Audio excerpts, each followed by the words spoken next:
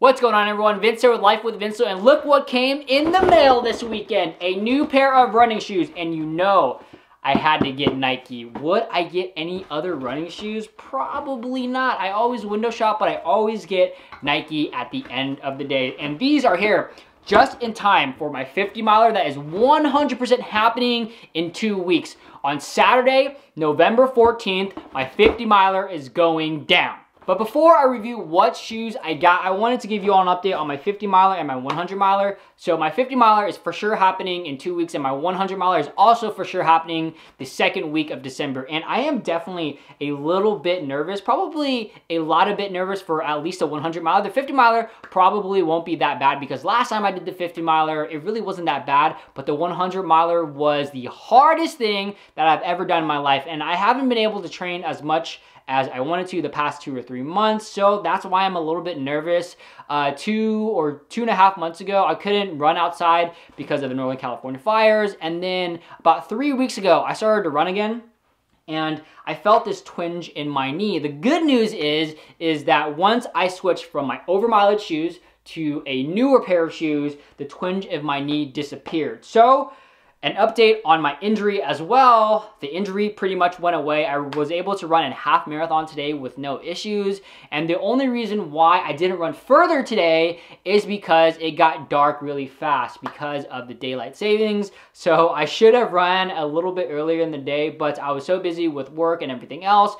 I ran when I could, and once I got to that half marathon mark, I was like, oh, it is pretty dark outside. So that's my update in terms of my injury. Injury is good to go or not good to go. It's pretty much gone and it was definitely from the shoes. So I'm excited to have these new pair of shoes for my 50 miler and my 100 miler because my current pair of shoes I'm running in Nike Peg 37s. They don't have that many miles in on them, but I don't like wearing them all the time because they are a little bit tight in my forefoot. And now to reveal what pair of shoes I got. I ended up getting the Nike React Milers. These are my second pair of Nike React Milers. I love my first pair so much that I had to get a second pair. And this was my first choice. And I was going to get the Nike React Milers anyways. I was actually waiting for the price to go down. And luckily, the price went down. So these are usually $130.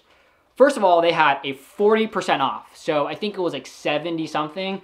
Plus, I had an additional 20% off coupon. Plus, I had an additional $25 gift card that I won from Kick It With Dang's raffle. And then I also had credit card points. So I actually got these for free. The thing is, is that these are really, really white, and I know that I will not be able to keep these clean just because my normal route anyways is gravel and a lot of dirt, but at the same time, I don't really care to keep them clean because I just want to use these to keep me injury free and to put in those miles. So I am so excited for these because I will be injury free running in them. And I would go as far as to say that these are my favorite pair of running shoes ever.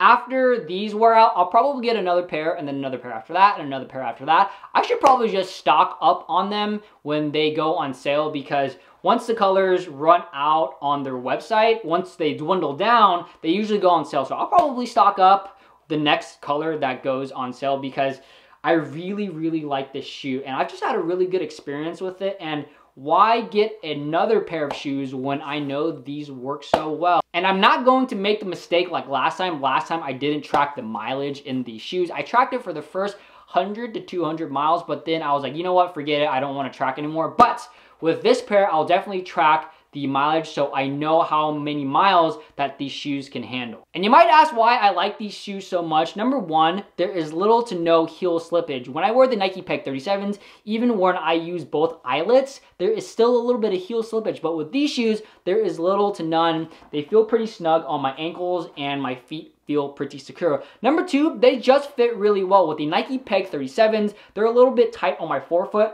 With these shoes, they're not tight at all and my foot just feels really comfy in them. The only negative about these shoes, and it's not that big of a negative, is that they are a little bit heavier. They feel a little bit fatter when you're wearing them, but I got used to them over time because they're just so comfy and they work so well. Thanks for watching. Hope y'all enjoyed that video. Please let me know down below if you have any additional comments or questions for me. We'd love to hear from you all. Please give this video a thumbs up. It would really help me out. If you haven't already subscribed to my channel, consider subscribing on this YouTube channel. I come out with daily content. Mondays, real estate. Tuesdays, Q&A. Wednesdays, live stream. Thursdays, miscellaneous, Fridays, jujitsu, Saturdays, review slash searchable videos, and Sunday, ultra running. If you want to catch another one of my videos, there's a video right here, and there's a video right here. See you all tomorrow.